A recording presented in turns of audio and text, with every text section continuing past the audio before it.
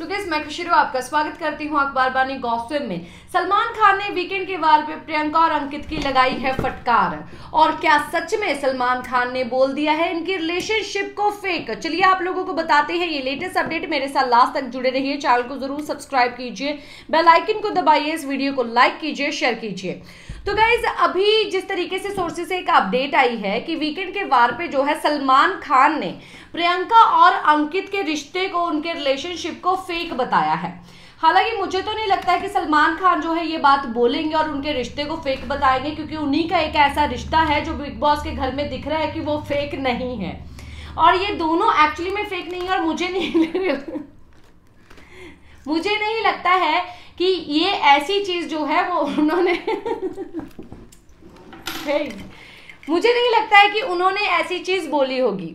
इसी दौरान ही आ, ये भी चीज़ अभी अपडेट आ रही है कि उन्होंने प्रियंका और अंकित की बहुत जम के क्लास भी लगाई है। वो क्लास ये है कि जैसे कि अंकित ने ये बात बोली थी कि तुम्हारी कैमरा के ऊपर बताओ जहाँ पर प्रियंका ने बोला था कि हाँ भाई ये मेरी पोल खोलने की बात बोल रहा है कौन सी पोल खोलने की बात बोल रहा है? तो चलो ठीक है बता ही दो।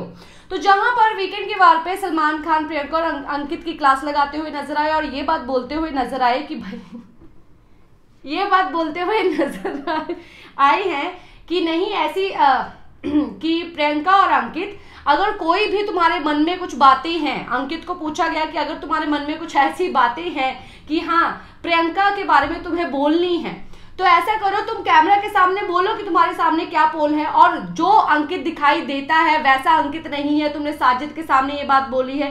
तो फिर बताओ सबके सामने कि आखिरकार ये अंकित कैसा है, और प्रियंका के बारे में तुम क्या सब चीज़ें जानते हो? अंकित, वो सब चीज़ें हमें बताओ। ये बातें जो है बोलते हुए नज़र आए सलमान खान वीकेंड के वार पे, और काफ़ी ज़्यादा क्लास जो है अंकित और प्रियंका की लगाते हुए नज़र आए।